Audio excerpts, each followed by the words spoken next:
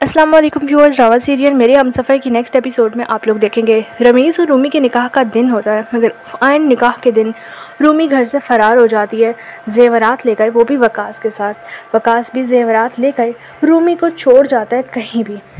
और इधर शाहजहाँ जब रूमी को देखने के लिए कमरे में आती है तो रूमी अपने कमरे में मौजूद नहीं होती। You are watching super entertainment rice बार बार कहते हैं कि रूमी को बुलाओ, निकाह का टाइम होने वाला है। मगर शाहजहाँ जब आकर रईस को बताती है कि वो लड़की हमारे मुँह पर कालक मल कर जा चुकी है, ये सुनते ही रईस को बेहद गुस्सा आता है और सब लोग भी हैरान हो जाते हैं कि आखिर ये क्या चल रहा है, जिस पर रईस को बहुत ज़्यादा शर्मिंदगी होती है और शाहजहाँ से कहता है कि तुम्हारी हिम्मत भी कैसे हुई, वो लड़की कैसे इस घर से जा सकती है, जिस पर शाहजहाँ कहती है कि मुझे नहीं मालूम।